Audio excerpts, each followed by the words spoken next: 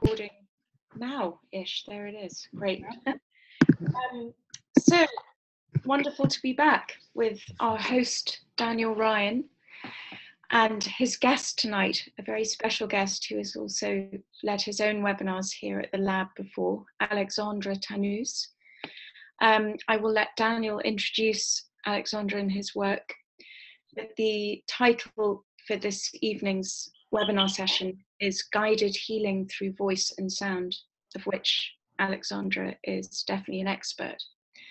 So we're very much looking forward to the dialogue that you're going to bring to the table with this topic, Daniel, tonight, just in the um, in the field of, of, of your work. It's going to mm. be very interesting. Mm. Um, and I'll just second Kelly by saying, please feel free, everybody out there, to um, post your comments throughout the the hour.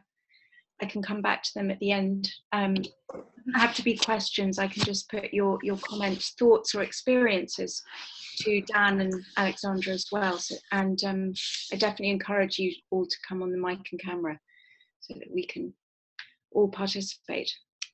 Um, and without uh, with with that, I will pass you. okay. Thank you very much, Henrietta. And welcome back, everybody. Good evening. I'm very excited to be speaking with Alexandre Tannous this evening. Um, and just to say a little bit about him up top, uh, Alexandre's research is an in- investigation into the therapeutic and esoteric properties of sound from three different perspectives Western scientific, Eastern philosophical, and shamanic societal beliefs. He has sought to gain a deeper understanding of how and to what extent sound has been used to affect human consciousness. As an ethnomusicologist, his approach entails the social scientific study of sound used in several traditional contexts, such as religious, spiritual, holistic, and cultural, for various purposes and occasions in entertainment, worship, meditation, and rituals of healing and trance. Consequently, his approach in researching, understanding, experiencing, and transmitting sound has always been based on a multidisciplinary approach. On a personal note, my introduction to Alexander's work began when I was listening to a podcast called Midwest Real, which is a, a philosophy podcast, which Alexander was being interviewed for. And I think I found it through a post on a friend of mine's Facebook page. He and I had played together in bands a decade ago and still get together and play music uh, every once in a while. And I have a personal history as a musician and using my voice as a hypnotherapist have long been deeply interested in just exactly how the sound I was making was affecting the people that I was working with as a hypnotherapist, but then also going back to my personal history with audio as a musician. So when I heard this podcast and Alexander just started to uh, discuss his research and his background, I was immediately blown away and kind of infatuated with his work early on. And that led me uh, to his TED Talk, which we will include a link to here, as well as Alexander's work with Evolver, the webinar series that he's done previously. Um, so I am very excited and very honored to be speaking with Alexander Tannous. Thank Welcome, you. Alexander. Thank you for the wonderful introduction, Daniel. With pleasure and honor. Thank you. Thank you. Um, so, to begin our conversation tonight, uh, would you please tell us a little bit about your introduction to your work and how you got started in your field and the, the foundations of your passions for working with sound? Yeah, um, well, I'll try to keep it short because hmm. It's long and fascinating and convoluted. I just didn't know I was going to get here. I didn't see it coming, actually. Uh, I've been studying music since uh, I was a kid, and um, and I went to college and did 12 years of um, training in music. Did four different degrees, all in music. Um, I was really fascinated by various aspects of uh, music making and academic side of music. Uh, studied theory, composition, and performed a lot uh, classical, jazz, and other um, musical cultures in non-Western as well, mm. and uh, studied music education, and ethnomusicology.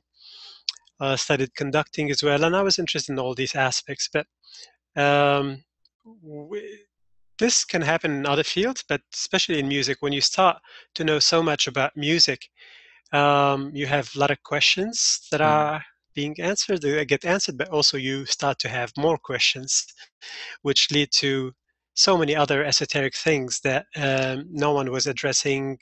Universities, conservatories were not teaching and um, bringing awareness to. So I, I, a lot of these things emerged during my fieldwork, um, which um, I augmented and started giving it a different shape based on my inquiries. And uh, I started this independent study on uh, sound, the therapeutic and esoteric properties of sound, and really in- investigating how sound impacts consciousness and how sound has been used.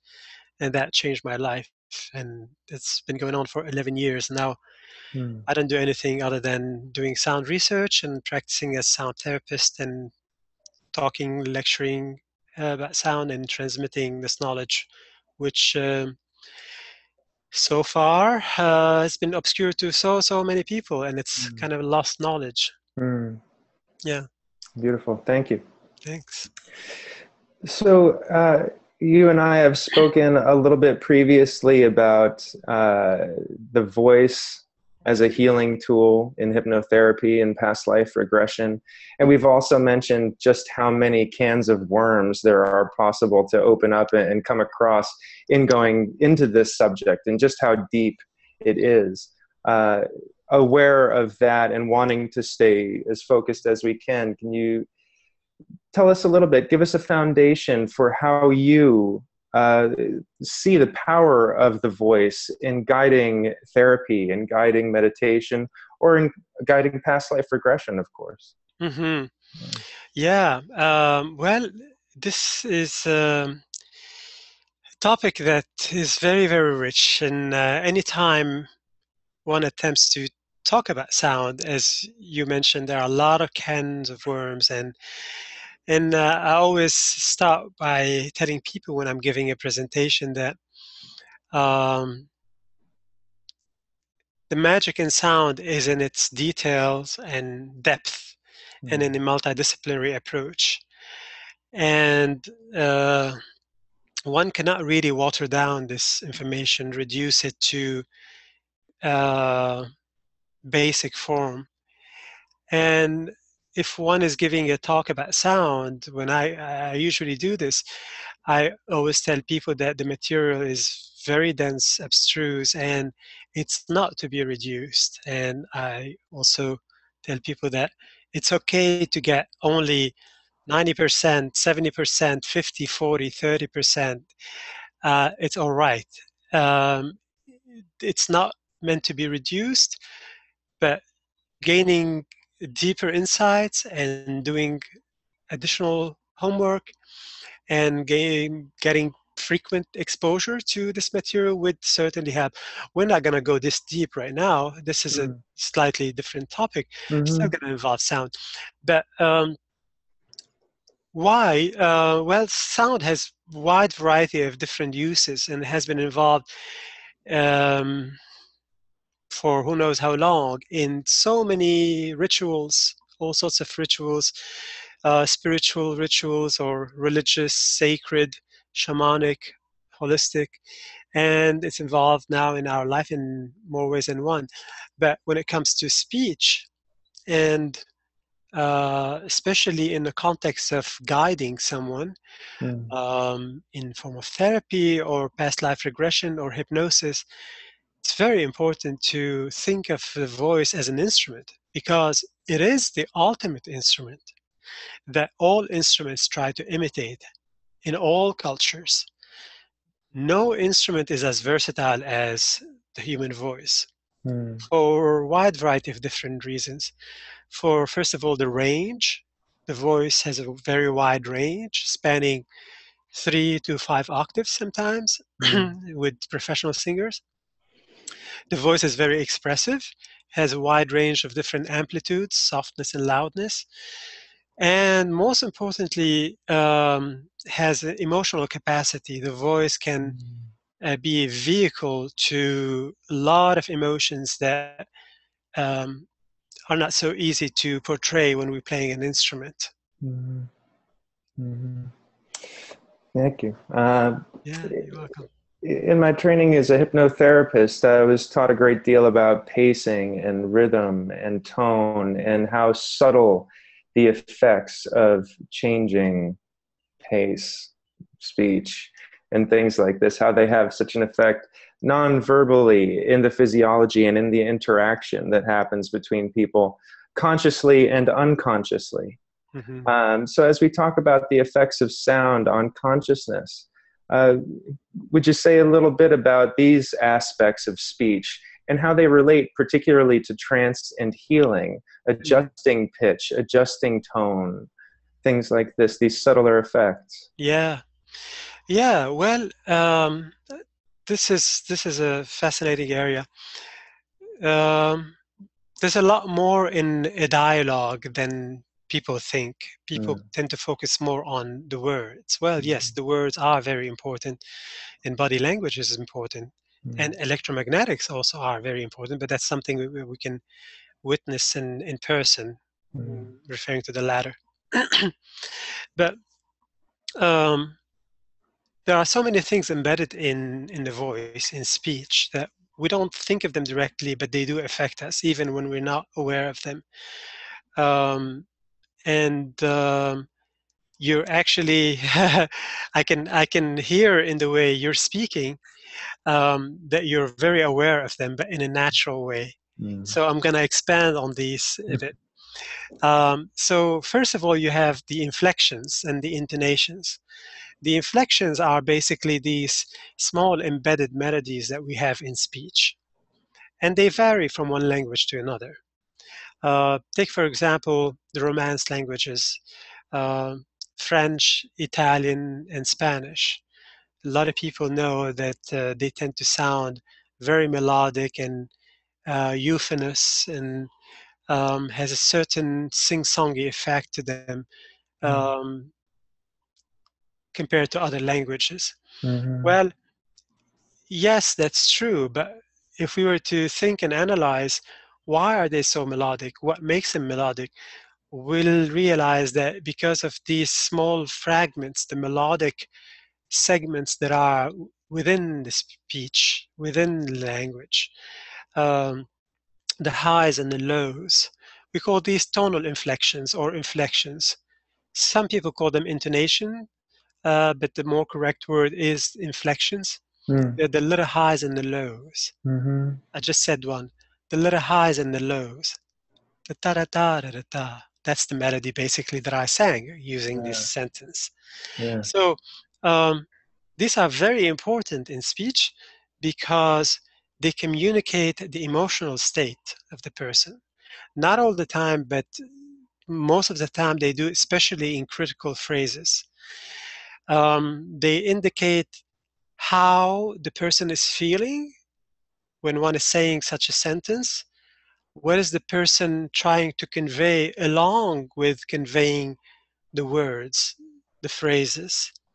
Because they could be in attitude, emotions, feelings, intentions.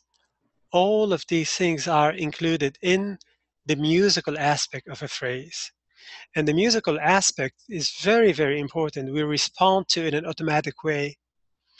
We are hardwired to understand and be attuned to uh, music as a medium. Um, we can go into the science, but we may get this later. But let me, uh, it's better to address everything there is to be addressed in in speech uh, first. So inflections are very important and uh, the silence between the words that's also another important aspect that creates emphasis on specific words and Mm. cadences cadences are the ending of a phrase or musical phrase or verbal phrase and this ending can be final semi-final all of these things are found in music and they have specific terms for them so certain cadences can leave you hanging just like this one. and certain phrases can be final. So you know from the melody that I reached the end of a phrase. Yeah. By the way I ascend and leave things hanging and descend coming back to home base or Yeah. full cadence. Um, so um, the silence between the words creates an emphasis on specific um, segments. Uh, and also the articulation, the enunciation. Uh, these are also important. Of course, it's always good to articulate well in all phrases, all speech, but sometimes people make a point to articulate so well to bring an emphasis to a word that they're, they want to draw attention to. Mm. Um, and then, um, so uh, basically, there is a monotony as well. Sometimes, if people talk in uh, monotonous tone, they're trying to express something. Could be boredom, or could be annoyance, or could be irritability, Mm. um, and many other things. Mhm. And uh, so what that means they're trying to be less emotional than usual. Mm. And hopefully, everyone becomes more aware of these musical aspects. Usually, people who do a lot of speeches, presentations, uh, public speaking, teachers, um, officials of all sorts, uh, therapists, Mm. um, are aware of speech. Uh, news presenters, of course, they're trained tremendously Mhm. how to capture the attention. And when it comes to that, there's also the physical gestures. They don't talk in a way where they're just barely moving uh, their body or their hand, but sometimes they make a point to move the entire body to keep the viewers fully engaged. You know, you've seen that Mhm. sometimes a little, little too much.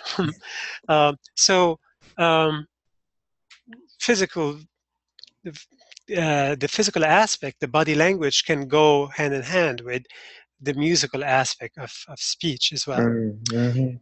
And then you have the register, uh, which is which register to use in a speech the very high voice or the very low voice Mhm. uh, or the balance in between, or undulating and going in a linear way where one tries not to cause monotony by staying within the same vocal range Mhm. uh, or specific um, interval. Uh, interval is a distance between one note and another note. So something, for example, that is limited to a fourth, which is the distance between one note, let's say the note is C and the next note is F, that's a fourth. C, D, E, F, da, bum. If, if I were to stay within this range, that would be somewhat monotonous. It's better to undulate to the higher and the lower register to Mm. keep things flowing. And this musical aspect um, would allow the listener not to get bored, to keep the Mm. person captivated and present. Mhm. Yeah, and um, there could be um, uh, the tempo, the speech tempo, the speech tempo, the speed rate, and the way it fluctuates as well. Mm. So um, sometimes, usually, when people are busy, want to try to get things done quickly, uh, if they're stressed out, they usually speak in a high rate, high, Mhm. fast tempo. Um, that does not always grant attention. People kind of um, listen to it and it washes over them, and they don't take it seriously. They don't capture everything, and this is why when we want to be serious, want to communicate that we're being serious, we slow down and we emphasize everything. And this is where uh, certain stress on words can can come in in the articulation in how things are stressed uh, the syllables the vowels the consonants just to convey certain seriousness and certain uh, command Mm. so all of these so far are uh, aspects of music that are considered to be part of the characteristics of music. Mhm. Um, and also there is um, um, there are other things that are not directly related to music, but they're also interesting to pay attention to in words, uh, such as the redundancy in words and in actions, and and also um, the amount of filler words in speech. Um, they're uh, well, that's I mean, they're sometimes called speech uh, disfluency. Mm.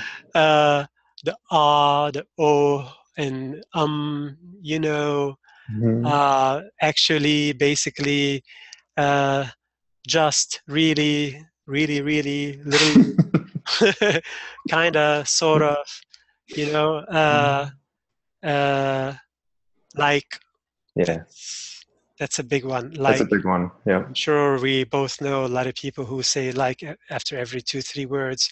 Yeah. So these are filler words, and it's very important to become aware of them. Mm. They're becoming more and more uh, used without the awareness, and makes me wonder why. Why are people saying using a lot of filler words without realizing that they're they're really not needed? Mm. I just said one, they're really not needed. I can skip, for example, really, they're not needed. So if if I say one, no, I'm not saying don't say any of them. no, it's all right. But using them excessively, that sometimes I count with certain people over 20 likes a minute.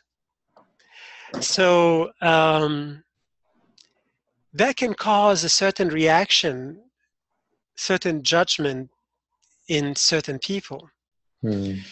So these are not directly related to the musical aspect, but these are things that are in speech and we must address them and understand them. Why are they there? Why are they not there? Just like the melodic aspect, the musical aspect that is in speech as well.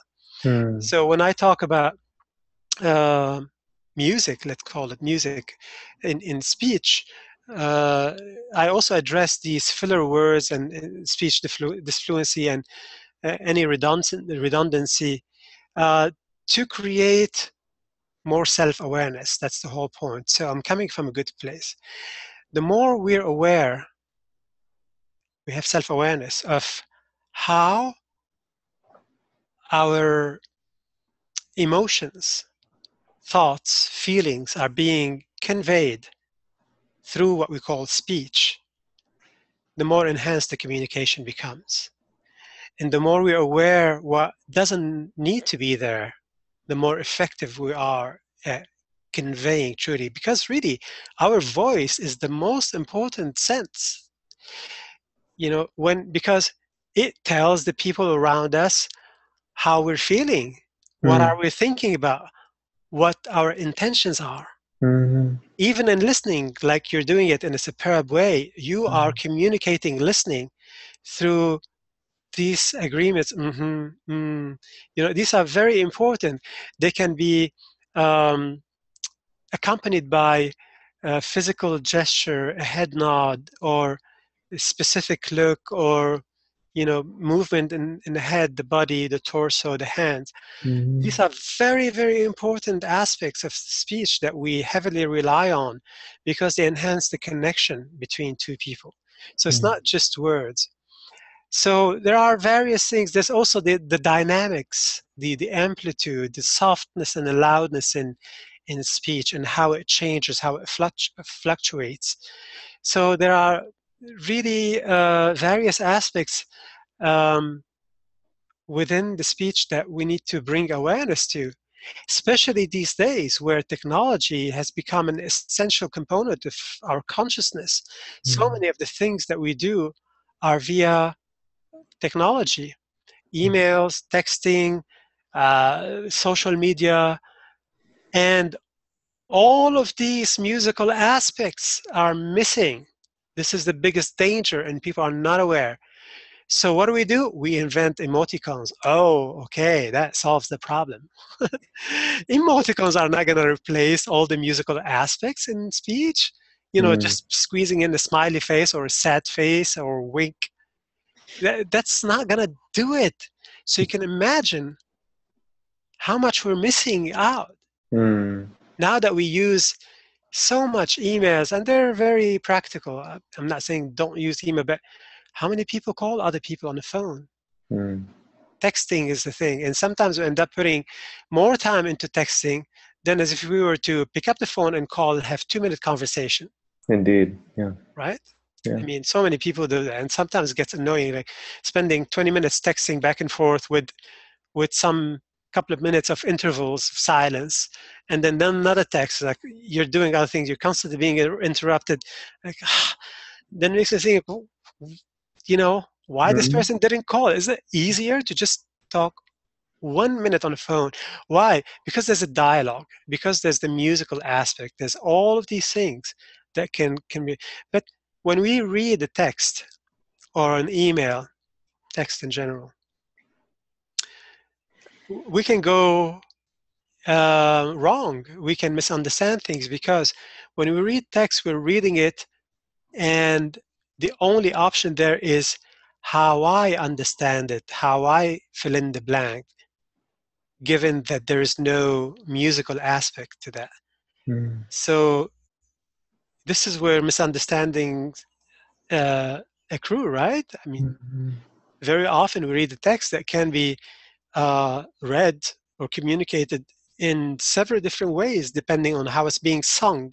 Literally, Mhm. comes down to this: Mhm. how it's being sung, not necessarily sung, like, but what are the musical aspects that are in it? And that's not in text. That's never in text.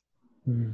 You know there's an art to reading poetry that Mm, yeah. art is actually setting the poetry to music and it's an extemporaneous composition Mhm. Yeah. Beautiful. Thank you very much. you're welcome So, I'd like to talk a little now about the voice as a healing tool and its use in trance in particular.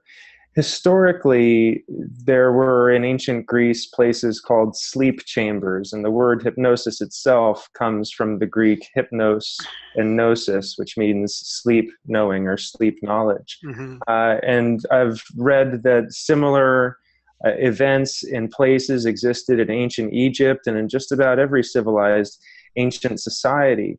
Uh, I'm wondering if that coincides with your research and what you know about how they were using sound in ancient civilizations as a healing tool in these formative ways and, and how that may have influenced us in the present. yeah. Um, nobody knows really how music back then sounded. There there there are some manuscripts with very vague nebulous notation different system of notation than the notation that we know we Yeah. now know the guido d'arezzo system Wow. so um, but um, if we were to take a guess we would say that um, music in ancient greece sounded very much like some some of the surviving uh, uh, aspect of Greek music that has not been westernized, and that would be similar to the music that's used in the Greek Orthodox Church, Byzantine chants, Ah, which Yeah. are uh, the music is microtonal. These chants are microtonal. They include notes between that would fall between the black and the white keys on the piano. So um, Byzantine chants and ancient Greek music uh, both are heavily influenced by Turkish and Arabic music, which remained unchanged, pretty much unchanged, a lot uh, aside from the European influence in the pop form. But here I'm referring to the classical forms. mhm. But what does this music sound like? It's microtonal. It's non-equal tempered scales. That means uh, they use scales that are that have not been divided into equidistant steps. The Western scale, Western octave, and scales uh, both are equal tempered. Equal tempered means they're divided into equidistant half steps. Uh, that's a little bit tricky to unfold and explain, but think of it this way that the mathematics of sound are quantized in the half steps. Hmm. The octave is equal to 1200 cents. A cent is a unit for logarithmic measurement. is another can of worm, but I'm going to wrap it up quickly. People can always invest, uh, research it online. Um, so, um, uh, just to give a little preface, uh, sound is math Sound Mm. is mathematics that we're listening to, literally. It's all mathematical ratios. Mhm. An interval of a fifth, the distance between C and G or D and A, that's called a fifth, um, is a 3 to 2 ratio. If you go from C to D, the very next note up, from white key to next white key up with a black key in the middle, or D to E, that's a second. Huh? That's a 9 to 8 ratio, so on and so forth. So really, sound is mathematical ratios that we're listening to. Okay, that would launch us into another barrel of worms, not a can. But just to tell you a little bit, and I'm gonna bring things back. But here, I'm with you. you asked me. I'm with you. this you. is one of these things that you know. It, it's that's why it's always hard, but ultimately fascinating to talk about sound. Um, so I'll come back to where we started from. Basically, yes, it comes down to mathematics. Mathematics is everything. Mathematics is the source code of the universe. People think music is the universal language. Well, kind of, yes, I know what you mean, but it's mathematics, and music is math. Um, recently, an academic by the name of uh, Jay Kennedy wrote a book. He's a philosopher uh, and professor of philosophy at the University of Manchester in England. Um, he wrote a book about uh, Plato's work. The in, all of Plato's work, entire the whole thing, is all about sound and mathematical ratios. It's encoded. People think it's about philosophy. Yes, it's about philosophy, but there's an underlying structure. It's all about sound and it's encoded to an extent where one would not realize that it's about sound unless one knows ancient Greek music and a few other things. Now, why would he do something like this? Because Plato was a Pythagorean.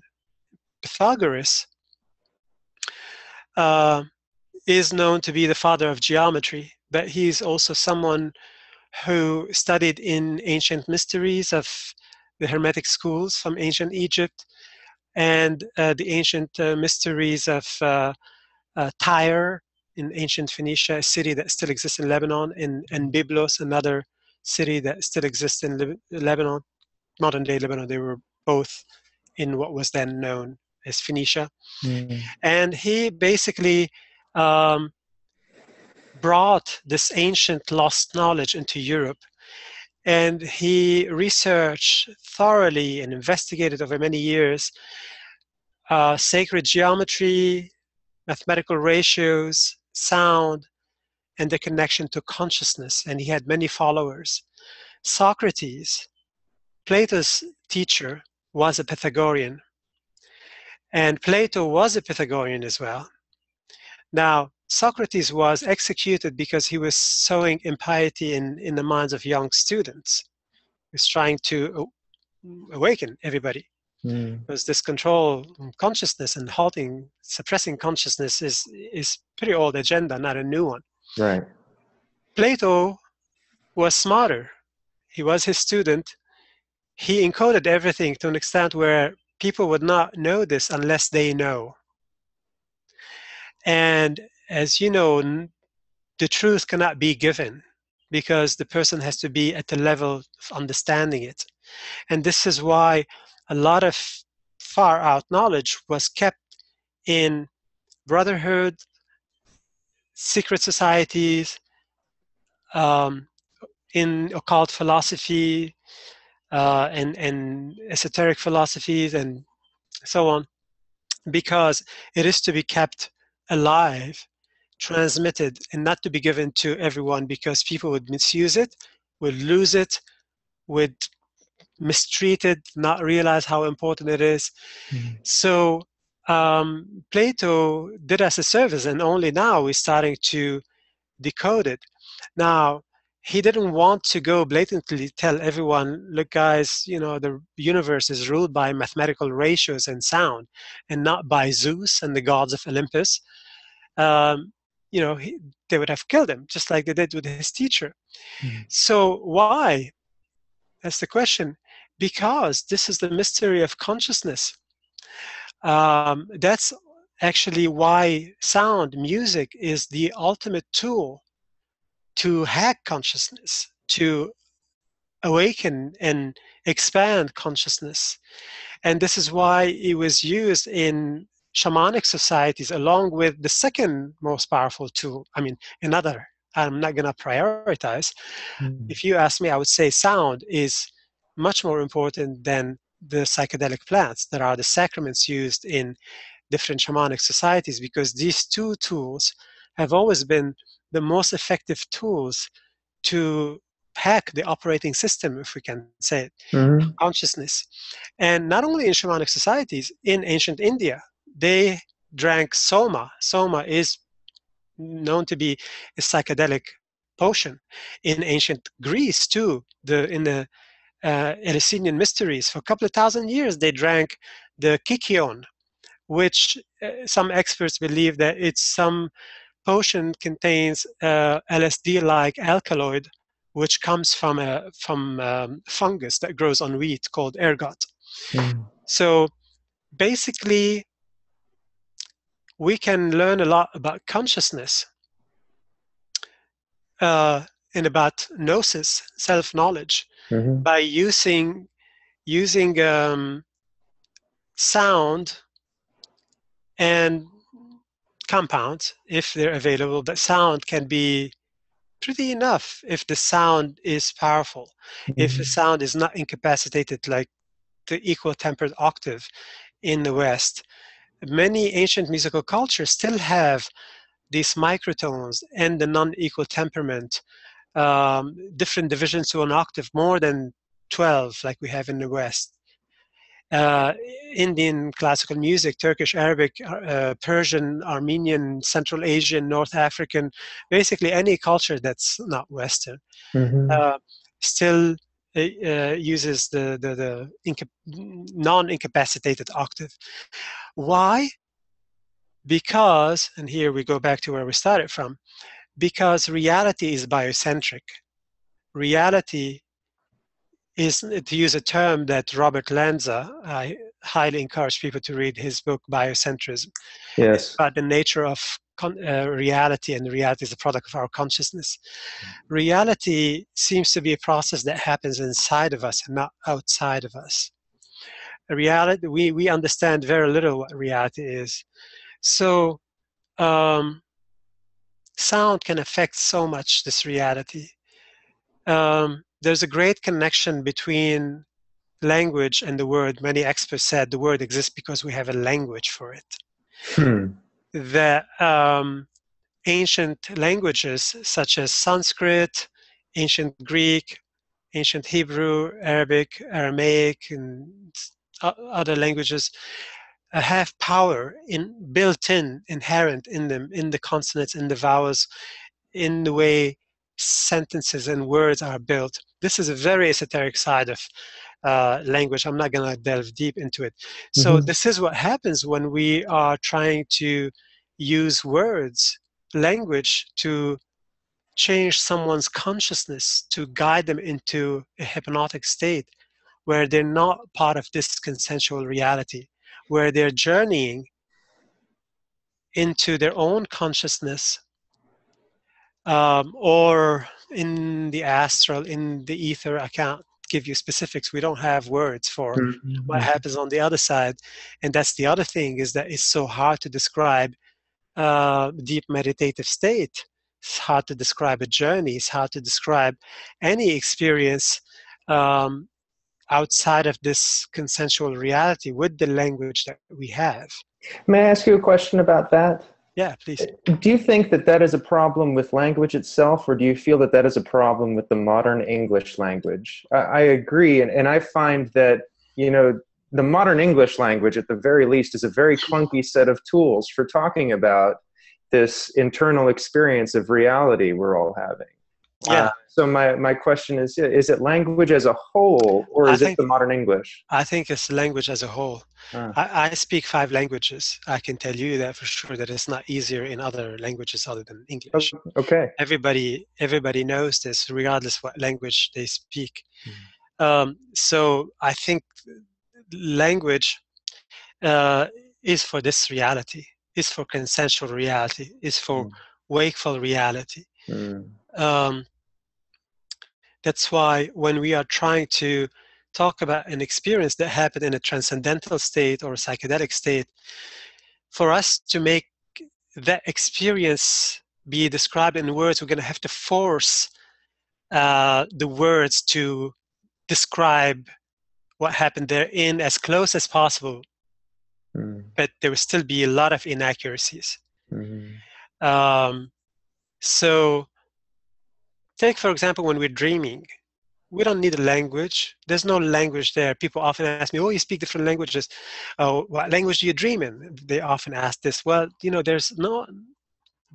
Sometimes there is language. Most of the time, it's just imagery.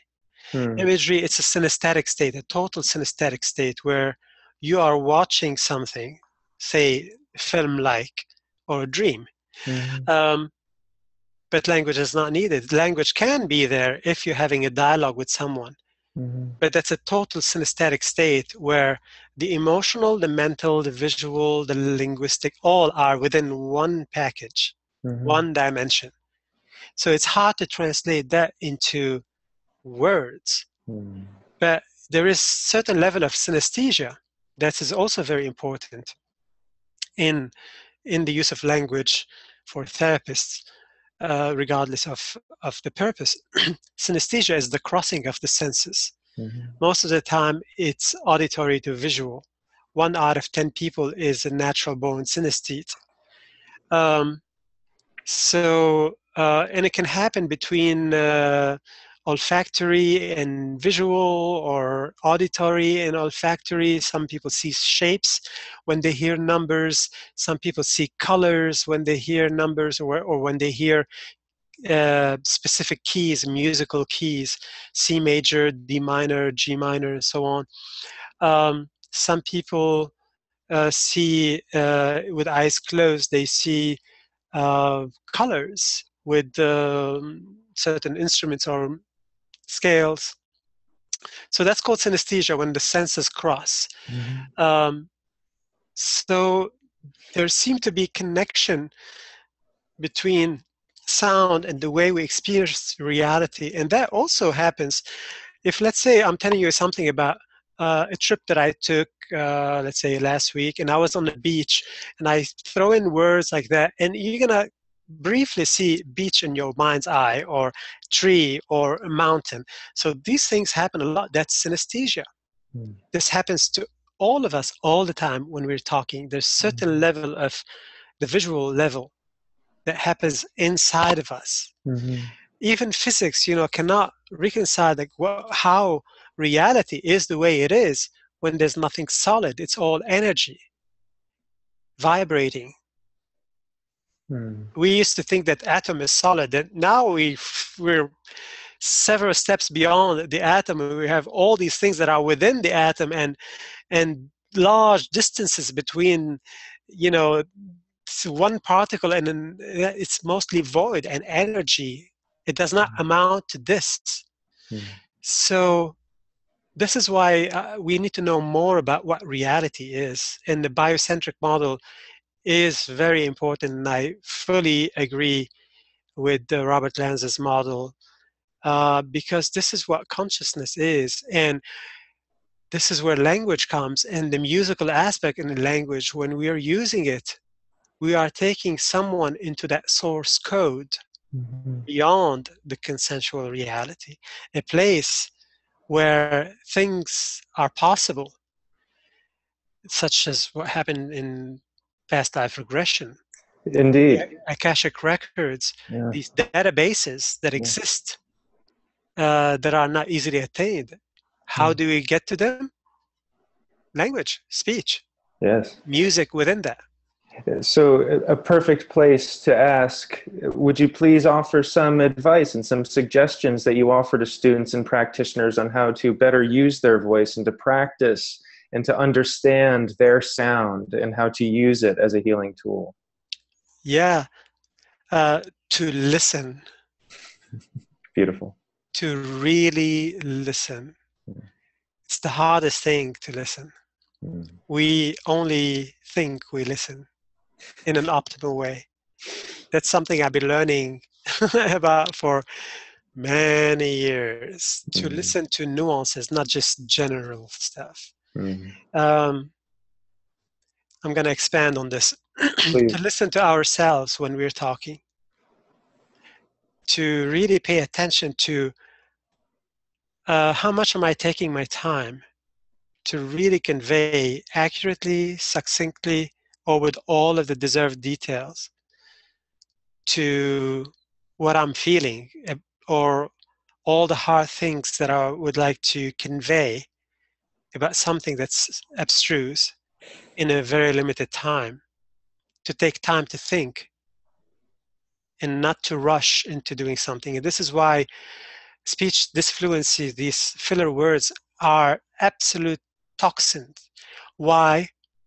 Because let's say as a person is saying something of substance and then instead of taking silence, this small interval of silence to think and feel, the person is going to throw in like um uh or whatever.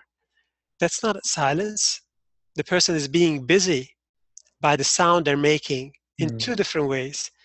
In an auditory way, the way they're hearing their voice, and a secondary way that people are not aware of. Most of what we experience of our voice is through bone and tissue conduction. Mm. Um, if you want to get an example of what th- that would be like, uh, block one ear or both ears and just say a few words, and you'll see how your voice will change. Mm. That is basically bone and tissue conduction. This is how why people react when they first hear um, their voice uh, in a recorded form. They right away, they right away say, "That's not me. Doesn't sound like me." Yes, it does sound like you. This is how people hear you, not how you hear yourself, because we hear our voice. Um, somewhere between 40 50 60% through bone and tissue conduction. It's a combination of two things the auditory the voice coming out of the mouth and coming back to the ears and through bone and tissue conduction how the voice travels through vibration and we feel it and hear it through feeling it in the jaws the cheeks the skull the head the neck the chest you know so on. Mm-hmm. So to really think and feel how we're expressing ourselves is what I'm saying matches how I'm feeling, especially if it's very hard to express. Mm. Of course, if the person is irritated or hyped up in some way or excited or nervous, that's going to be harder. So there one needs a breath first. Breath through the through the diaphragm to relax the muscles. And to really find the appropriate words. That's another thing that's happening that we're becoming more and more sloppy with language. We're not choosing our words carefully. We're just circulating and using stock words of and expressions that others repeat when they don't mean a whole lot. Because it's especially when it comes to communicating something that's hard, we end up by using a stock word or stock expression Mm. instead of using sound like an artistic medium to really find the right words that can paint a different reality. Because at the end, it's about painting a different reality. It's about giving someone uh, the opportunity to experience our reality, the reality of the one who is talking about something, kind of like poetry. Mm. Yeah. And this is what singers do. This is what Billie Holiday did. The reason why she was amazing as a singer because she gave the songwriting a life. through the way she articulated it, the way she sang it. You could hear the pain and the sadness in her voice, not just in the words, but the packaging of the words. It's this kind of attention that's needed mm-hmm. because language is an essential component of consciousness. Mm-hmm. And instead of treating it better and better and on a high level, we are becoming sloppy with it and nonchalant and skipping the musical aspect, just typing words. Mm. So, um, when we're careful with with our words and with the musical aspect and listening to them and really thinking discerning whether i'm doing justice in comparing what's in my heart what's in my mind with what i'm saying i can make corrections as i as i'm listening and speaking. Um, i can also get more out of the meaning when i'm listening to someone else talking. You know you can see it on people's faces as you're having a dialogue and especially if it's a an argument or a debate or something of any intensity. If you're watching carefully a lot of people check out in mid midway through that sentence that you're saying because they're already thinking how they're going to answer you haven't even finished the sentence. Mm. and you can see it on their face on their body language. Mm. uh, waiting for you to stop to or even they interrupt you. Like wait wait listen. Listen listening is an art. How far does it go? It goes really far. I mean that's what the sufis did. With their art they called it uh, um, sama sama in in um, in Arabic, uh, the language that most of them used, is a judicious listening. It's through spiritual listening, if you will, you can journey in the music that they listen to, which is uh, very similar to classical Arabic music, classical Turkish, and classical Persian music, because Sufism came out of uh, you know the Middle East and West Asia. West Asia mm-hmm. is comprised of these cultures, which they still exist uh, there. and there are different Sufi orders, but basically they sit and they listen to the singer, the instrumentalist playing, singing that music. And then when they're ready, they stand up and little by little they start warming up their body in gentle movement. Eventually they whirl. But through listening, they attain a state of tarab, which in classical Arabic music is a ecstatic state, state of euphoria, of ecstasy, achieved through musical understanding, listening, and playing uh, that's spiritual listening. That's listening that takes you to a state of non duality where you merge with the divine within God. Mm. So, listening is the hardest thing and the most important thing. Mm. Thank you. I'm sorry it was a long answer, but no, I appreciate it. I couldn't do it in a shorter way, and I shouldn't do it in a. no, absolutely not. And just listening to you again it, it's it never stops. I mean it's just such an endless endless area of study isn't it? I mean where do you where do you stop? Yeah right. You know? Um, so coming back to the formative power of sound uh, you know in the bible it says first there was the word and in various other philosophical uh, texts there is all this indication that manifestation begins yeah. with the sound would you please talk about the generative power of sound? Yes. And as the starting point, as the nucleus. Yeah. Well, you know, that's the other thing is that everyone is talking about sound. Every time you go deep into any text, any heritage, any philosophy, um, esoteric or exoteric, there's always sound at the bottom of it all. Hmm even in the Bible, people don't ask questions about that first sentence in the Gospel of John. In the beginning, there was the Word, and the Word was with God, and the Word was God. Mm. What is what is being talked about? Sound. What is that word? The, logos, basically, comes from ancient Greece. Logos, also, mm. word. Mm-hmm. In Hinduism, um, they say the universe started with the primordial Om. Mm another sentence Indra's net of jewels. Indra is the god of thunder and lightning. This is also sound. Um, music of the spheres, sound. The Big Bang, sound. Mhm. you know, and so on and so forth. So um, many of the books I mentioned earlier, Plato's work is all about sound. The Old Testament is all about sound. It's all encoded. There's always sound at the root level of everything. What is this biggest mystery? There are very few researchers. Um, a friend of mine, Howard Berry he was a guest in uh, the, the second webinar on sound therapy I gave uh, has been researching this for over 30 years. He studied with someone, Ernest McClain. People can check out his writing and download his PDFs for free. Um, also, spent his entire life researching this very esoteric aspect. You know, the answer is I don't know. I can't tell you. Hmm. What is what is this mystery with sound? Somehow it is a mystery, and it's really the deepest secret that's been hidden that's been encoded, that's been discussed in esoteric philosophies. In you know the harmonic overtone series, that's what I've been focusing on. Mhm. Harmonic overtone series is uh, the blueprint of sound that nature gave us. Um, and basically, well, I prepared a few slides. Uh, maybe I can show people because this is something that's really technical to to explain. Let me share this um, keynote file so you can uh,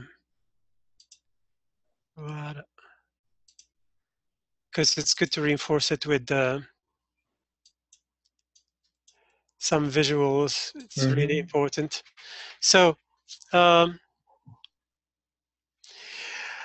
um, harmonic overtones. So basically, any sound that we listen to is not just one frequency; it's the sum of many frequencies, um, and they're there to give any sound that we listen to um, the tone color or the timbre. Basically, what differentiates your voice from my voice is the tone color or timbre. The sound of a flute from sound of an oboe, clarinet, violin, that's timbre.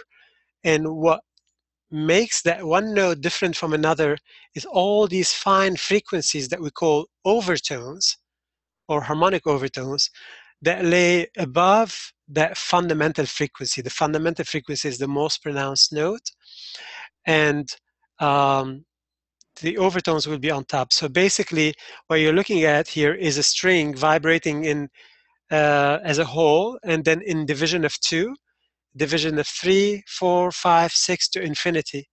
Hmm. If you were to break a string into division of two and lightly touch that middle part, you get the harmonic. Let's say the string, when you pluck it, it gives you C note. That harmonic that you bring out by lightly touching the string in the middle, dividing the string into two equal parts, would be an octave higher C. That's the first harmonic in the series. Hmm. If you were to divide the string into three equidistant parts, you get the next harmonic. Two nodes, two places where you can get the harmonic. That place is called a node, N-O-D-E. That would be a G. That's the second harmonic. If you were to divide the string into division of four, you get the next harmonic, another C, two octaves higher. This is what Pythagoras was experimenting with, and this is where he got to. The little he knew that this actually happens if you go on to infinity, dividing the string into four equal parts, five equal parts, six, seven, and so on and so forth, forever and ever and ever. And this ratio is always the same. This formula is always the same. Whether you're uh, starting on C as fundamental frequency, C sharp, D, or any other note. And this spacing will always be the same. So this is basically what it will look like, division of one. And these are, for example, if you look at uh, the second and third column from the left, C and G, divisions of two and division of three. Remember earlier I said that a fifth, which is the distance between C and G, Mhm. because it's C, D, E, F, G, one, two, three, four, five, for those of you who have not studied music. Um, that's a three to two ratio. Where do we get that from? Divisions of three over divisions of 2, 3 to 2. A fourth, the distance between G and C, that's a 4 to 3 ratio. A third, C E, that's a 5 to 4 ratio, and so on. See where Mhm. the math comes from. Mhm.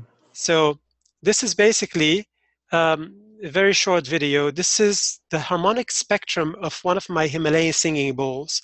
What Mm. you're looking at is um, left and right channel. This is why they look alike, uh, bottom and top. And uh, first, when I press play, you're gonna hear the Himalayan singing bowl sound as it sounds the way you strike it. And then you're gonna see the cursor focusing on the first harmonic from the bottom, which is the horizontal line. These are all the notes that are contained in the sound of the bowl, basically, where you will hear one harmonic at a time, and you hear and see this cursor moving from the lowest horizontal line and going higher to the higher one. And at the end, you hear everything all together. Okay? Okay. So listen attentively. Maybe um, raise the volume on your computers uh, for people who are attending, because the higher harmonics are very light and uh, barely audible. Here we go.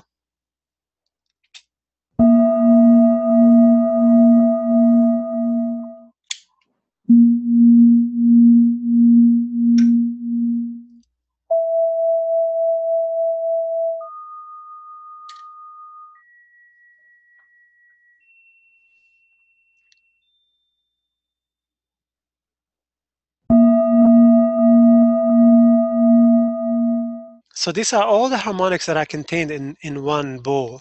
Hmm. And there is something magical in the harmonic overtone series. This is why um, similar instruments or harmonic overtone producing instruments such as Himalayan singing bowls, gongs, discs, bells, didgeridoos, overtone singing, all sorts of instruments that emit harmonic overtones to a clearly audible level.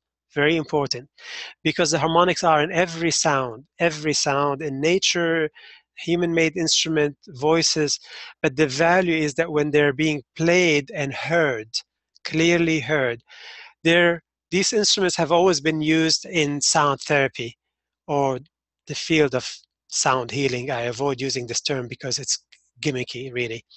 So uh, basically, uh, there's something in is being exemplified in the sound of such instrument. When we play such an instrument, it is modeling to us what being in resonance is like to be like it's Hmm. giving us the mathematical ratios that create the universe. This is the mystery of sound. Of course, I'm telling you the very beginning of it. And it goes a lot, a lot, a lot deeper. You Right. ask a big question: What is the sound? What is, you know, why the word? Why music of the sphere? So this is what is being talked about. This is what Plato was trying to communicate. This is why so many uh, uh, luminaries and researchers and, and scholars, after having done a lot of digging, they get to sound at the end.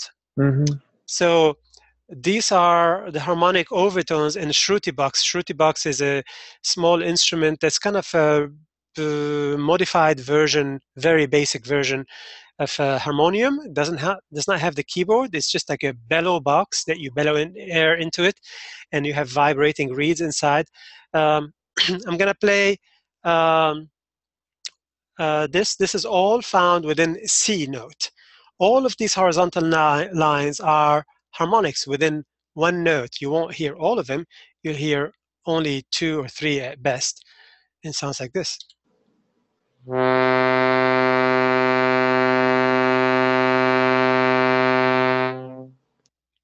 So this these are the harmonic overtones in a gong, 38 sym- uh, symphonic, go- 38 inch symphonic gong. Um, so this is what the gong sounds like.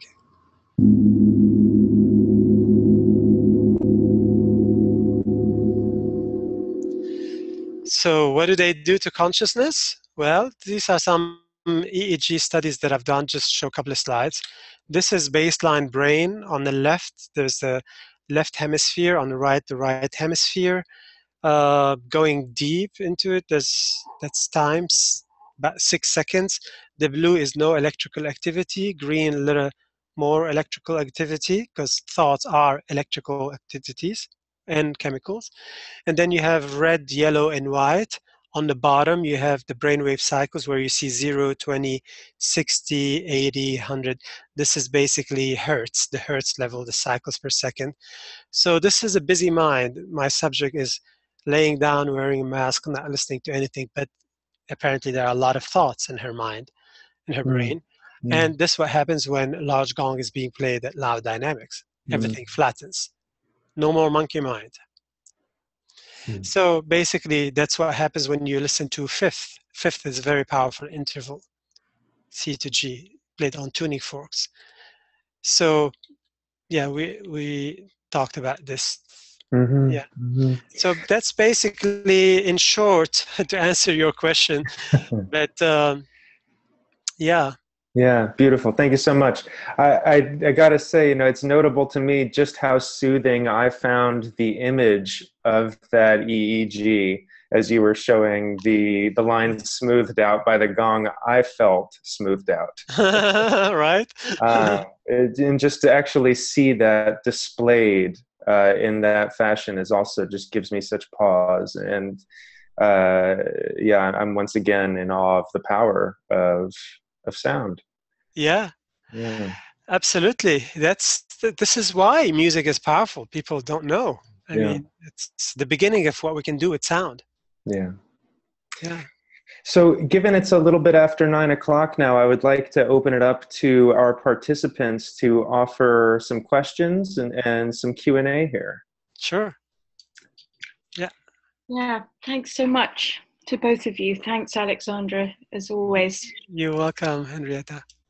It was amazing. I mean, I have so much I want to say.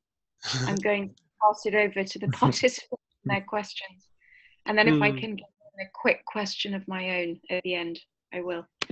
Yeah. Um, okay, so let's go to um, Matt was the first um, the first person who asked a question. mm-hmm.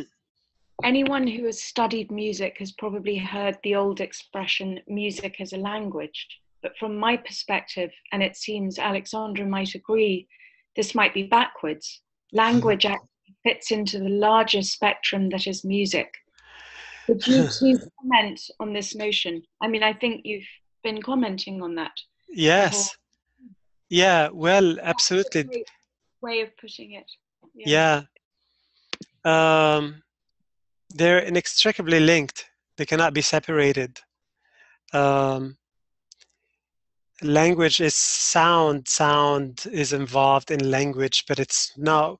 My message here is that language is not just words to to get meaning out of but it's more than that. There is music to the way uh, words, phrases are packaged, or the setting. Huh? When you when you're a songwriter or composer, and you are composing music to to poetry or songwriting, uh, that is called setting poetry to music or setting text to music. We're always doing this as we're talking. And we need to become more aware and involved, paying more attention to what we're doing, what kind of music we're setting, and to listen to it when someone else is talking to us, not to leave the musical aspect out. Hmm. Yeah. I, de- I defer to Alexandre. so, what he said. yeah, yeah. I mean, I just wanted to quickly comment on what you were saying, Dan, about this sort of, well, one technology, but also the clunky set of tools mm. use description. Just, I mean, it's just interesting to wonder continually about the effect of technology and how we use it, and Alexandre's comments on text and you know that form of communication. I mean, you know, I grew, we, I think we all grew up in an era before that, right? Well, Yeah. Alexander I did, and I did as well. grateful for that. I grew up with birdsong, Hmm. um, poetry, and music, and and those things are the things that keep me personally sane. Mhm. Still, you know, and not not the other, nothing, out- not certainly not the email world. Even though it's useful, it is not. It's not on a high vibration Mm. Mm. in that way of communication.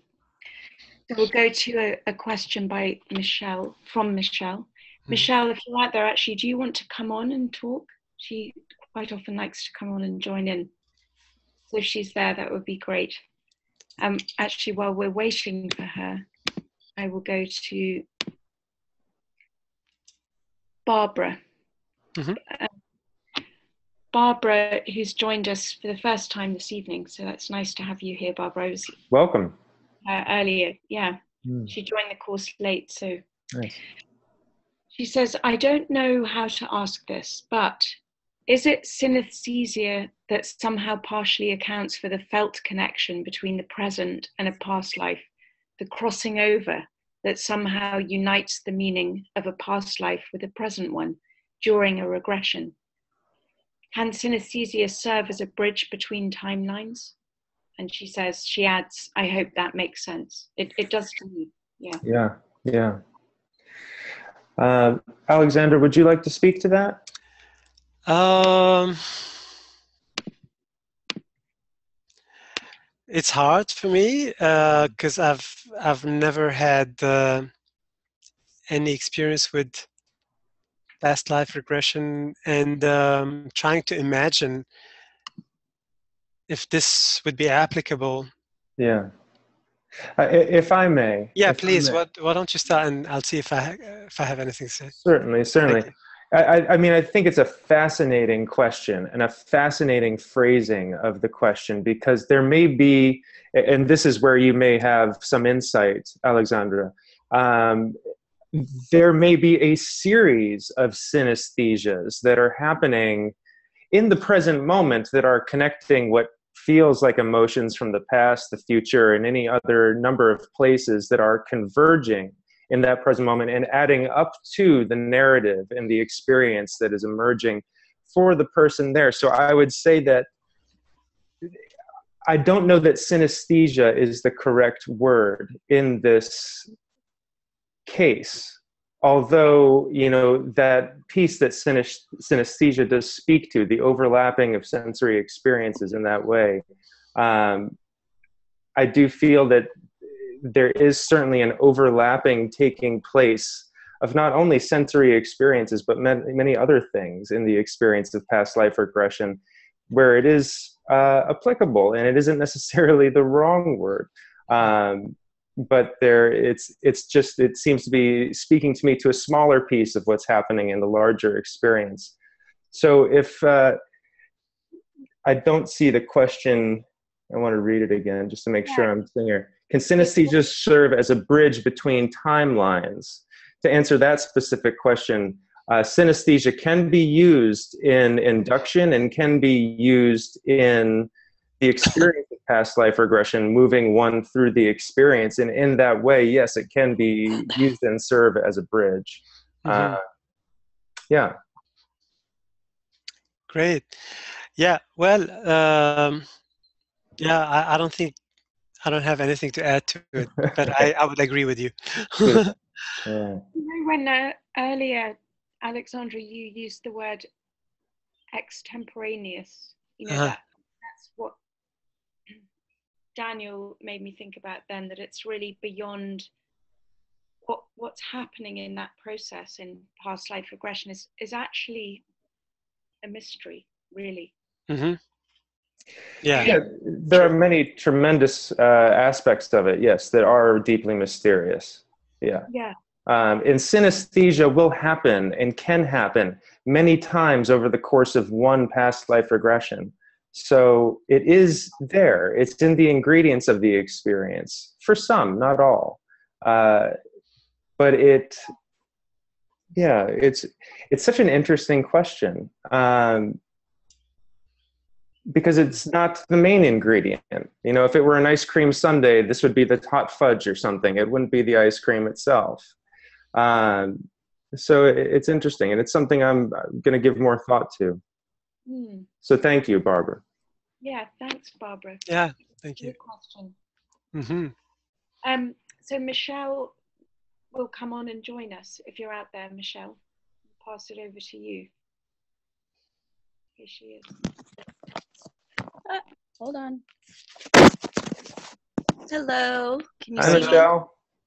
So, as always, you guys take me all over the place, and um, I have more questions than I think that I could even put out at this moment. But to kind of address the healing with sound, um, I come from a shamanic hybrid tradition called the Santo Daime, and we um, sing um, as part and is actually central to the whole expression of the religion. And um, these are called hymns and they are received. Um, I have received them, they come almost complete. Um, and so they, the, the idea that we have, uh, the best understanding that we have about what these hymns are, is that they are beings that come into the work in the presence of being sung into, being invoked. Um, and they come and do work for that moment and then they move on. Um, and then they have whole, we have whole tradi- we have whole subsets of hymns that are just for healing. Um, and so having come from that tradition, I have been fascinated with sound and healing and really kind of the physics of collapsing waveforms um, since I do regularly receive um, reoccurring visions and uh, channelings about the Om and the Big Bang and the sound that we are, the waveform that we are within right now in our universal expression, um, and really how little we know and how much, um, how how tantalizing that is Hmm. to know that we don't know it all. so just thank you so much. Uh, I just wanted to put that out there about singing, and I grew up uh, as a polyglot as well, and and as one that receives visions, it is incredibly difficult to describe something that comes to you in such a holistic form. Uh, how do you start to describe something that comes complete? And the moment you start to describe it, you are defining it and limiting it. So, you know, the the power of language to mold um, has pros and cons. Mm. So thank you so much. Thank you. Thank you, Michelle. Yeah. hmm Alexandre, I actually have another question I'd, I'd like to ask you. Please. Uh, we've spoken a little bit before about uh, certain aspects of both of our respective fields and healing and therapy in general, and certain language that we find, uh, usually marketing language, that we find creating more problems for practitioners and consumers alike uh, than you know solving them. hmm Um, and I, I've always found you to be a very articulate and passionate voice uh, in exploring those aspects of these fields which create those problems. Um, so I'd like to talk and hear you talk a little bit tonight about what you see in the field that's creating confusion for us as practitioners and consumers. Um, you you broke a couple of places uh, in, in the field of. I'm sorry, I'm, I may have missed a few. Oh, pardon me. Yeah, quite all right. Yeah. Uh, so the question was: uh, We've spoken before about our in our respective fields there being certain troublesome language, Oh, right. Yes. mostly in the marketing end, Yes. Oh, absolutely. that confuses us as consumers and practitioners and Yeah. creates more problems than it solves. Uh, and I'd, I'd love to hear you speak on this as you're particular, particularly articulate about it. So if you Yeah. would please tell us a little bit about what you see as the problems in these fields currently. Yeah. Yes. Um, so this is my personal opinion, Hmm. but uh, and and unfortunately, I'm one of very, very few people who address these things, and I think there should be more.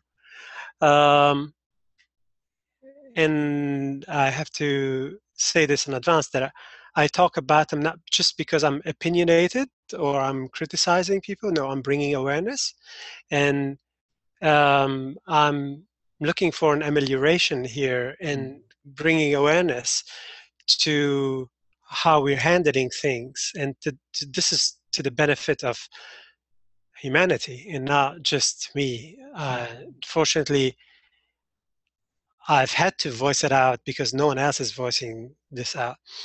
Uh, for example, uh, this the way we in the West are handling spirituality and shamanism. Very often we get the watered down version of it and the commercial version, the um, pop version, mm-hmm. and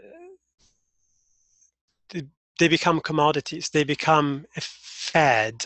They become oh, this is what's hot now, you know. Well, also there is this obsession with uh, the healer. I'm a healer. I'm a healer. No, no, you you don't. I mean, I'm sorry. Healers do not directly heal people. My definition of a healer, and I do this work, have been doing it for many years, and I don't call myself a healer unless everyone agrees that the definition of a healer is someone who helps people heal themselves. Mm. And that's different. Mm-hmm. Yes. We're not healing people. And I know people are coming from a good place. They want to feel good about themselves, they want to feel that they're doing something positive to others, but they're not realizing that not being careful with such words and titles would make them ruin that first thing that they're working on. Instead of empowering the person, self empowerment is part of the healing. Instead of bringing awareness that for this person who is coming to work with us, if we tell them, oh, you're coming here, I'm a healer, I'm going to heal you, it's like going and paying a doctor's visit. You know, check me out. I, I, I something is wrong with me. Uh, examine me, give me medication. Um, I can't do anything. Um, I'm busy, so give me some medication that would fix it. Uh, that's basically where we come from, and we're bringing that paradigm into this realm, a new realm, the archaic methods, the wonderful archaic methods that are being revived. Spirituality, uh, holistic practices, shamanism, and we're treating them in the same toxic and nonsensical way that we treat Uh, things in the West, you know, especially in the medical field. We healers don't heal others. I've never met one healer who has healed someone in a direct way. Maybe they do exist. I have not met a healer who heals without the other person is doing something, without placebo is being involved or something. I've I've done fieldwork in over 40 countries. I've been around for a while, and I've been in adventurous places and and and and unique situations and ceremonies. Um, this is totally wrong.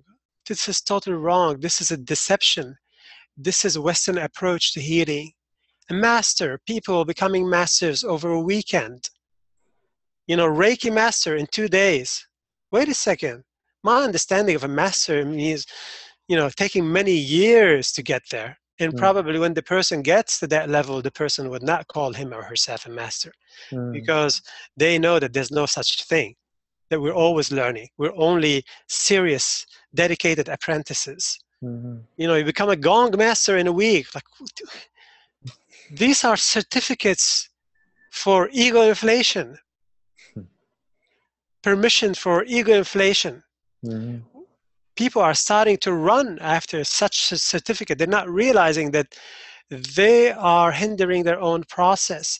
Those who are uh, giving out these programs, training thousands of yoga teachers without giving them enough of hours to be trained, to, to train them on various aspects or Reiki healers, Reiki practitioners. How about that? Isn't that better? Mm-hmm. Do we need to become right away master? Mm. You know, let's not find creative and non creative ways to celebrate mediocrity. This is happening left and right to a level where everybody's accepting that. Everybody knows that it's a joke, but it's accepting it and they're seeking that mastership. Mm. that healer certification, you know, that's nonsense and BS, total BS. And we need to wake up to it.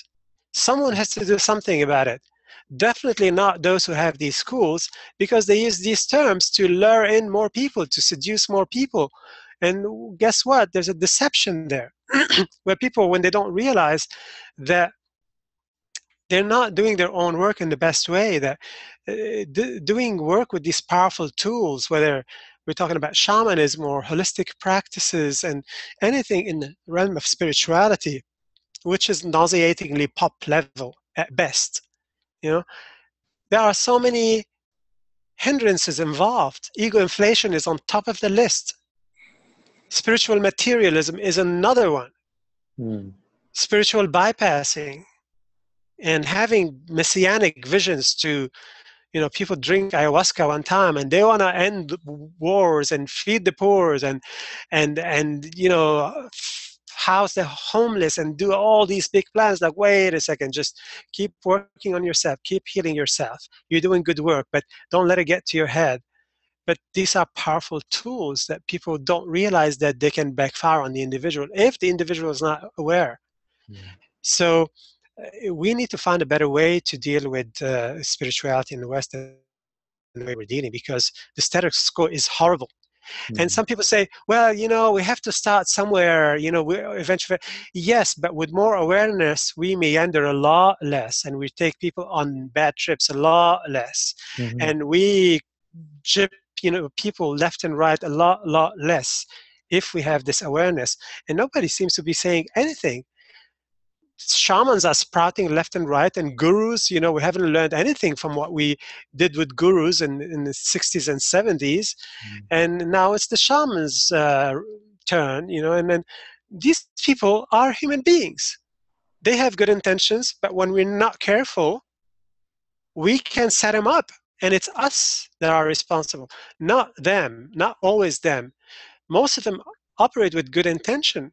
Some have bad intention but they really mean well. But when you subject a person with ego trials and with nauseating level of devotions and, and religiousness and all of this stuff then becomes a cult then becomes dogmatic mm. and we're not being super careful all of us interested in this some are more aware than others and then the shaman goes rogue or the guru goes rogue and then we start thinking oh what a deception who caused this let's let's have a dialogue about all of this i'm not hearing enough of a dialogue yeah yeah i, I can rant for hours about this but you know i think i made my point yeah. Well, yes. Well, I love it. Thank you for your passion. Um, I agree. There isn't uh, enough of a conversation on this, and your your point, your salient point, is uh, well made that it's their work that suffers. It's, it's, you know it's the work one's doing on themselves that's lacking there. Yeah. Mm-hmm. Yeah. yeah. Beautiful. Thank you. I believe I see another question from Barbara.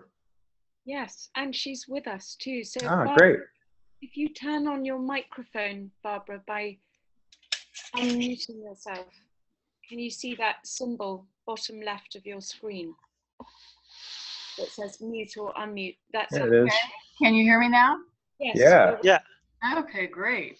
Um, yeah, I actually, um, it's fascinating. And I love what Alexandre just said about shamans because the woman who helped me the most actually called herself a facilitator.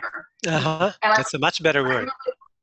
yeah, because I think it is disempowering to present yourself as a healer. You know, mm-hmm. I'm here to heal you. So anyway, I one reason I loved working with Tibetan singing bowls as a healing tool was because it was almost like once the session began, you were on your own. It was your own experience. It was almost like, you know, the so-called healer disappeared.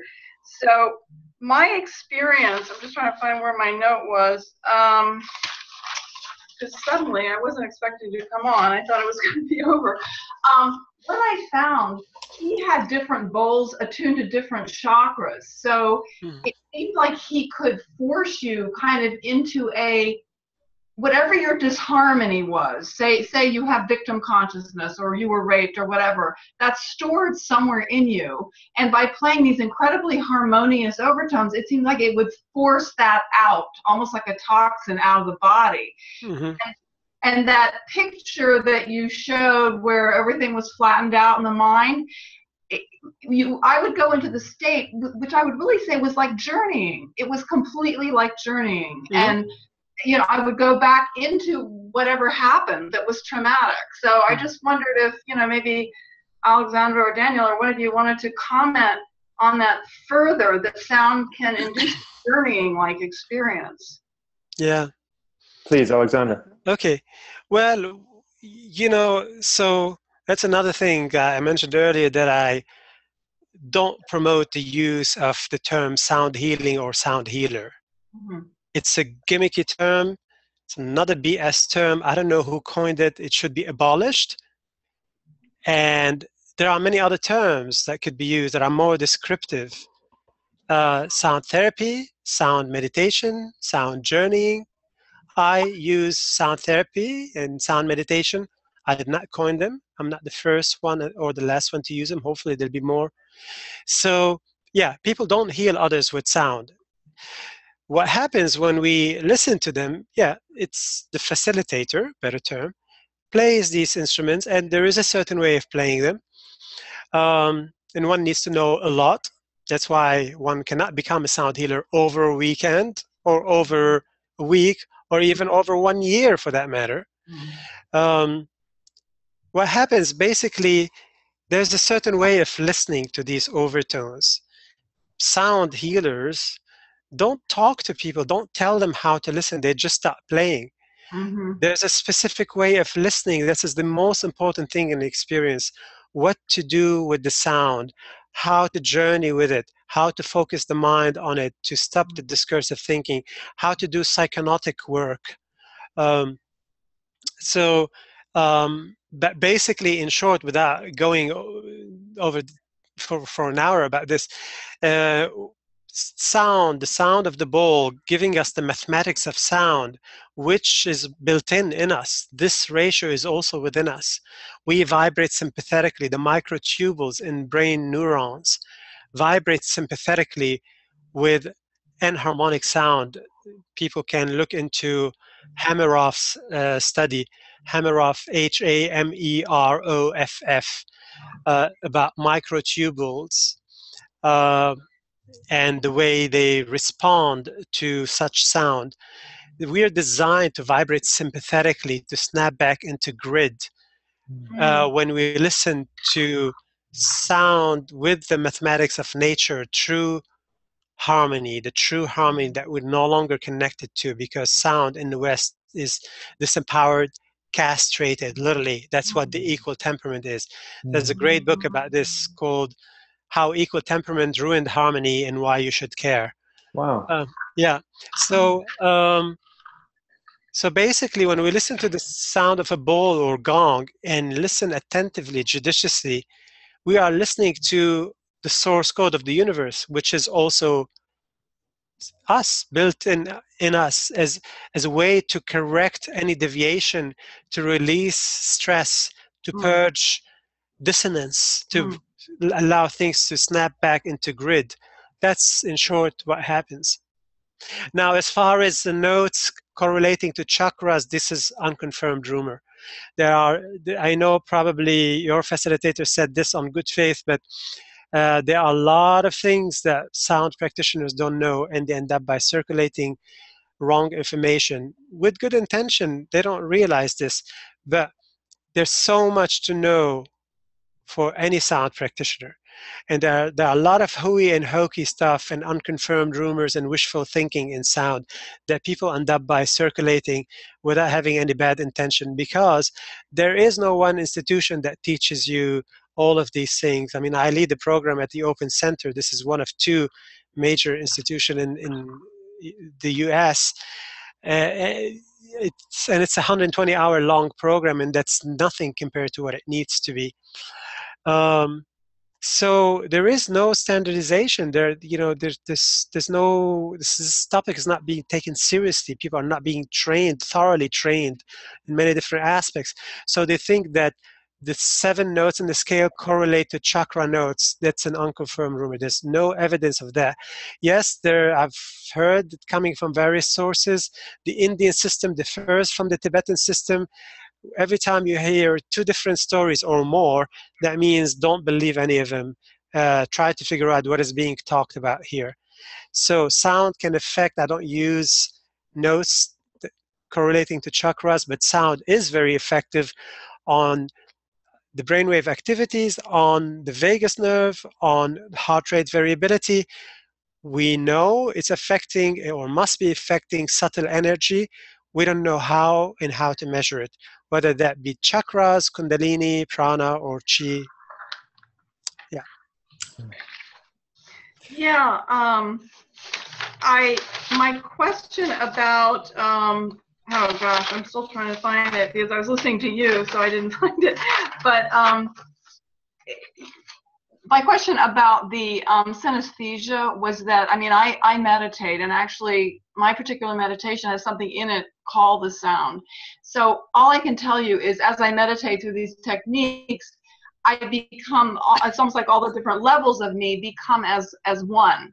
And so I kind of feel like that question about um, past life regression and the relation between say past life regression and the journeying or the experience that you were addressing with the tibetan bowls. It, it induces i don't know like a, a, a state of unity that seems to release you from your mind where you can connect up with other dimensions you know? And so i wondered if past life regression i'm trying to tie those two together. So mm-hmm. what you said was great but I, can anyone follow up on that Well, what you say about the, the singing bowl creating in you a feeling of absolute unity, uh, I, I, feel like Alexandre has spoken to that, you know, in 10 different ways tonight. I, and I can certainly think of my own experience in similar fashion, Barbara, but I, which I have had with singing bowls as well. So I think that that unity that is created in that, which Alexandre understands the the audio of better than any of us. Um, but as that as that happens in us internally, I think a context is created for a multiplicity of experiences to occur, whether it's visions of what may or may not be past lifetimes or or alternate universes or past or future or any number of things. I think what what what really struck me when Alexandre was talking about synesthesia was it united two senses, and yeah. and kind of when you unite anything, it becomes a fuller dimension. It's more whole. It's closer to oneness. And I was wondering is what makes past life regression like a real experience to you? And and forgive me because I haven't heard the sessions before this. But you know, I was wondering if it's it's sort of based on that same principle of synesthesia that it's uniting some felt sense then with now, and it's the uniting of it that makes it real for you. Does that make sense? Yeah, and it's another very interesting way of phrasing the question. Um, and you know, to be clear, the real experience, uh, Alexandre having mentioned before, reality is an internal experience. And Robert Lanza's book, Biocentrism, I think the real experience happens in the present. Period. Mm. And that what's occurring the experiences themselves, while we may perceive them as coming from the past, we are in the the present with these experiences. The emotions are happening now. The thoughts are happening now. The physiology is happening now. Mm-hmm. Uh, so the the nature of time in this exercise is one of the very mysterious aspects of it. Yeah, yeah, but it's credible, like you said, because you're feeling it in the present. Basically, that's what yes. makes it credible. Yes. Yeah. Yeah.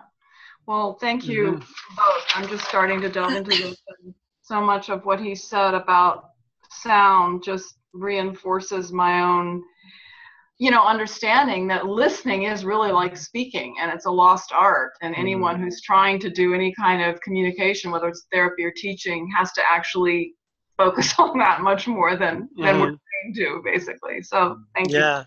Yeah, you're welcome. The harmonic series is the living God. That's what's been called. In my friend Howard, I was mentioning his name earlier. Uh, you guys should check out his books. Howard Barry Schatz. Um, he was able to decode um, the book of creation, the only book written by Abraham, the patriarch. Mm. and his conclusion is that uh, the harmonic series is the living God. This is the stairway to heaven in the esoteric philosophies.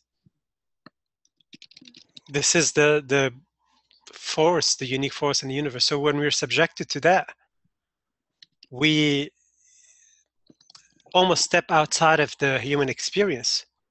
We go into transcendental state where we become everything and nothing. And there seem to be ways to navigate in that realm. Mm. One can do things and not just witness it in meditation. Mm. So there are a lot of psychonautic skills that one can learn. psychonautic skills if people are not um, uh, aware of this term, astronaut of the psyche, psychonaut. Mm-hmm.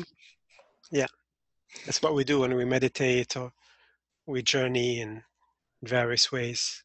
There's a way of navigating instead of just witnessing that. Mm-hmm. That's a great word.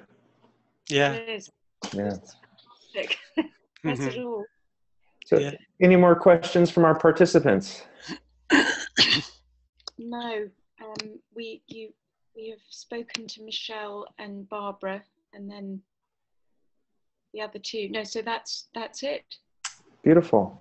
Well, I'd like to thank everybody participating tonight and thank you so, so much for your time this evening. Alexandre, it's been wonderful speaking with you, wholly thank enriching, you. and uh, look forward thank to the you. future.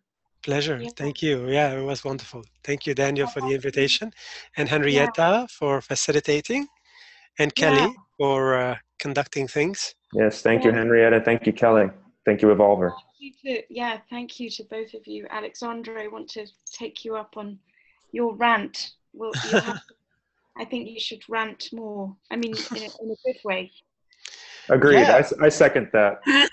People, everybody needs to rant. No one needs to. But the problem here is that I'm not the only person who notices. I know others notice, but they don't say anything because they don't want to be judgmental. But this is not about being judgmental. You see, uh, it's uh, you can't let people do what they're doing because they're not aware. They're doing this because they're not aware. They don't know enough. Hmm. and compassion as trungpa said compassion is not always about being kind. It's about being imaginative and creative enough to wake up a person. Hmm. absolutely. No i fully agree with you that these things need to be said because we're in a dangerous situation i think. Very yeah. passionate what you said, I, I second wholly. I mean, that's my kind of. And there's, there's a lot of narcissism and inauthenticity. These are the mm. problems. This is what we end up by dealing with as a result. Narcissism, extreme narcissism, and inauthenticity, lack of sincerity, and lack of integrity. And it becomes a widely acceptable thing that everyone else copies.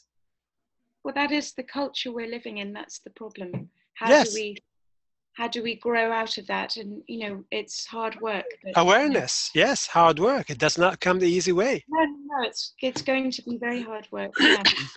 Um yeah. This this I, should uh, be the topic of a future series. I would just like i've thought about it quite a lot. Yes. you know a forum a panel.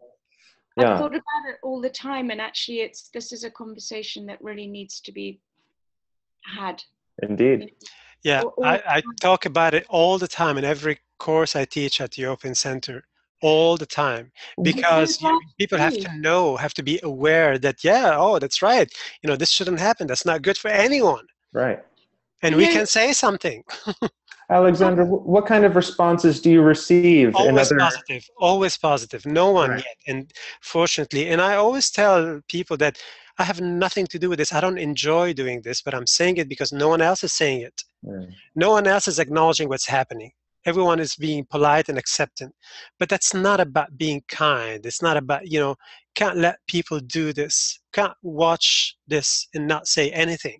Mm-hmm. Commercializing, watering down fantastic thing and becoming commodities and, you know, just pop level everything. Totally. Well, that is the culture we live in, and and we. It doesn't have to be like that. We need to learn. No. No, Yeah. Absolutely, absolutely, a hundred percent. And um, I I know it's very strong in America. That's nothing. I mean, it is everywhere, but It's very strong in America. Yeah. I I don't know why that is. Perhaps because it's a younger culture, more susceptible. I I mean, not that's not a negative comment, just an observation of mine. You know, sure. having been in Europe and travelled a lot. It was that you know people are more sort of hungry, and and so they take things you know quickly, and then want to to embody something that they haven't actually. There are many causes why it's happening, you know, Sure. because people are busy, they're distracted, Absolutely. they don't have the time, the energy, or the willingness to go deep into things. So the one on one level serves many people. And that's what the media uses to package things. But guess what? You know, if the establishment is uh, practicing any mind control tactics, one way to do that is to, to control the opposition is to lead it yes. Go on. to lead the opposition Hmm. and you lead it by commercializing these things so that they become ineffective they don't need to spend so much effort on leading it we're doing pretty darn bad job yeah Well, Al- uh, Alexandre, just so you know, I'm going to start being more vocal about it. As you say, Thank you. talking about it. I'm going to start talking about it, and I'm going to be in touch with you down the road, and we'll continue the conversation on it Because That because would be great. I agree. That would Yeah. be great, and I'll I'll help you do any kind of all right, let's. The, the conversation started here then, right now. Let's, let's just remember this a couple years from now. I've got to. Can I just say one thing? I know Please. it's your webinar, but Please. I because I'm, I've been working very much on these webinars, and particularly yours, Daniel, just because I was trying the experiment of using my intuition of things coming up, and I, you know, if something comes up very strongly, I want to act on it. So I, I was compelled with the conversation between you and Alexandre at the beginning to go and get this book, which is a, a book by Sri Aurobindo called um, Mother or the Divine Materialism. And I, I just sort of said, well, what, you know, whatever page, I'm just going to open it on a page and I'm going to pay attention to it because I, this book is that way for me. And, and I opened it here and read here, and it said, um, Mother, who's the sort of luminary, Mother suddenly said to us, I don't know how I can help you, but I'm going to send you some music. And indeed, it came like a very vast rhythm, which was perhaps music, and it raimented itself in words as it descended. It chose its words automatically as if the sound created the word or attracted its own like word. But, but were there the least thought, the sound was blurred and all the words came out wrong. Thought automatically took form at a lower level, almost unknowingly, as if it had been produced by the music, a secondary and inferior effect of the music.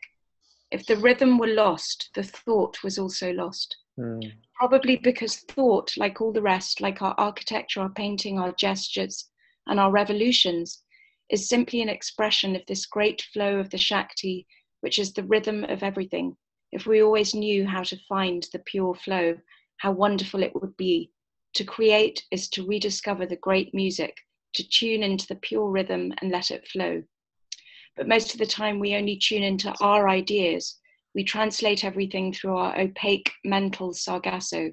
So naturally, the rhythm becomes false, the thought becomes false, and all life becomes false. It is no longer the movement of great wings, it is the movement of anything at all that fidgets and bangs against all the bars of its cage.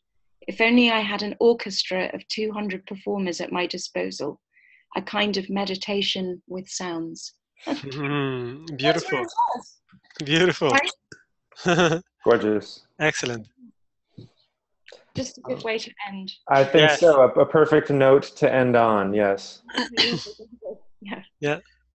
Well, thank you both so much. A, a wonderful session and to be uh, built upon in Yeah. the future. Yeah. Thank you very much. Thank you, Alexandre. Thank you, Henrietta. Thank you, Kelly. Thank you, everyone. Next thank week, you we'll all be in touch. Yes. very good All right. Good night.